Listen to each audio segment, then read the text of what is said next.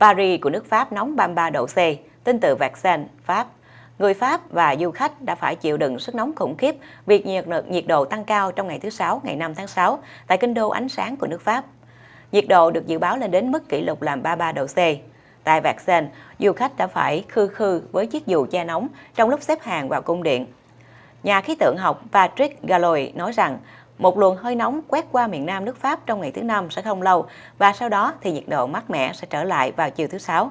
Ông Patrick Galloy nói, hơi nóng tỏa xuống từ vùng Bắc châu Phi, thổi qua vùng ven biển Đại Tây Dương và rồi kéo đến miền Nam của nước Pháp, làm cho không khí nóng lên. Ngày hôm qua, nhiệt độ tại vùng Tây Nam lên đến 36 độ C, tương đương với 96.9 độ F và sau đó hơi nóng lan đến miền Bắc và miền Đông của nước Pháp.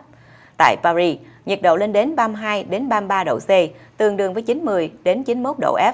Tuy nhiên, du khách ngoại quốc và cư dân Paris có vẻ như tận hưởng ánh nắng của bầu trời trong xanh, bất chấp việc phải liên hồi lau mồ hôi đầm đìa trên gương mặt. Một du khách người Đức nói rằng thời tiết nóng nhưng không hề gì cả, vì bầu trời đang xanh và mặt trời thì đang chiếu rọi khắp Paris. Nhiều cư dân địa phương lang thang dưới bóng mát của tháp Eiffel, háo hức phơi mình dưới ánh nắng mặt trời sau một mùa xuân mây mù đã qua. Thời tiết vào những ngày cuối tuần tại Paris có vẻ tốt hơn với nhiệt độ vào khoảng 23 độ C, tương đương với 73 độ F vào ngày Chủ nhật.